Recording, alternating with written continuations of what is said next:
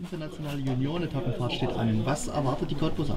Ja, es reisen 20 Mannschaften aus Deutschland und den Anrainerländern, sprich aus acht Nationen an, zehn ausländische Mannschaften, zehn deutsche Mannschaften.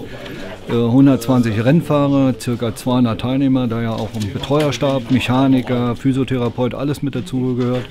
Und wir fangen nächsten Freitagnachmittag äh, in Trepkow an, war ja mit dem Start der ersten Etappe. Am Samstagvormittag haben wir ein Einzelzeitfahren in Drachhausen nach Fero. Samstagnachmittag das Rundstreckenrennen rund um das Waldhotel. Und am Sonntag endet das Ganze mit einem langen Straßenrennen rund um Dissen, also im Spreewald, wo wir halt auch nochmal optimale Bedingungen für die Rennfahrer haben. Wo liegen die Cottbuser Hoffnungen dabei? Ja, wir setzen ganz große Hoffnung in Juri Hollmann, der in diesem Jahr auch schon seinen ersten internationalen Einsatz mit der Nationalmannschaft in Belgien hatte.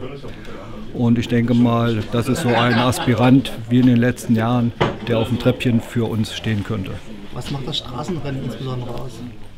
Straßenrennen insbesondere, man hat unterschiedliche Begebenheiten, mal den Wind von der Seite, von hinten, schmale Straßen, Kopfsteinpflaster finden wir auch noch kleine Stücken bei uns. Also so, dass sich der Rennfahrer immer wieder auf eine neue Situation einstellen muss. April spielt sicherlich halt auch nochmal das Wetter eine Rolle. Wir hatten halt auch schon mal Schnee. Ich hoffe natürlich, dass wir in der nächsten Woche wunderschönen Sonnenschein haben, weil das für alle, nicht nur für die Rennfahrer, sondern halt auch für die Helfer und Organisatoren äh, ja, schöner ist, äh, die Veranstaltung durchzuführen. Zuschauer können jederzeit dabei sein? Zuschauer sind jederzeit gern gesehen. Natürlich optimal im Zielbereich. Da sieht man dann, wer als Erster über den Zielstrich fährt beziehungsweise halt auch an den Wendepunkten oder an den Kurven, wo die Rennfahrer natürlich mal ihre Geschwindigkeit verringern müssen, sodass man doch mal einen längeren Blick auf die Rennfahrer hat. Ansonsten sind sie natürlich mit Geschwindigkeiten zwischen 40 und 50 km/h unterwegs.